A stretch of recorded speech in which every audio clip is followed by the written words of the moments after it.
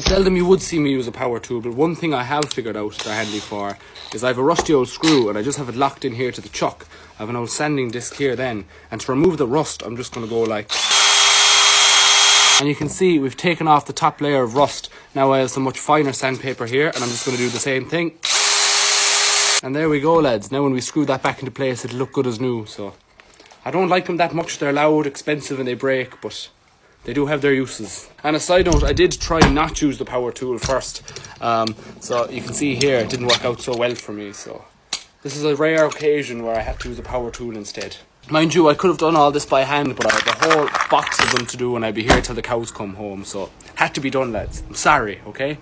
So they're all for part of a big old beam drill that I'll be putting together soon enough, hopefully, once I have all the parts cleaned up. But uh, you can see there just how nicely they turned out.